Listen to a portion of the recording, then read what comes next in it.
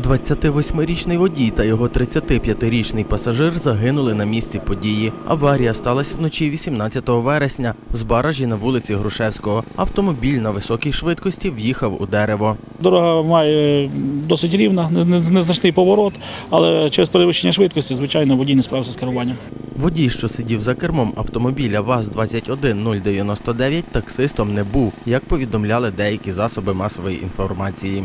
Власник даного автомобіля має ліцензію на право здійснення пасажирських перевезень. Однак на даний час він надав цей автомобіль своєму товаришу для власних потреб, і він його і використовував. Це автомобіль здійснено в частному порядку. Це знайомий взяв його там десь поїхати по гриби і поїхали десь, а потім обіцяли автомобіль повернути і ще не повернули власне.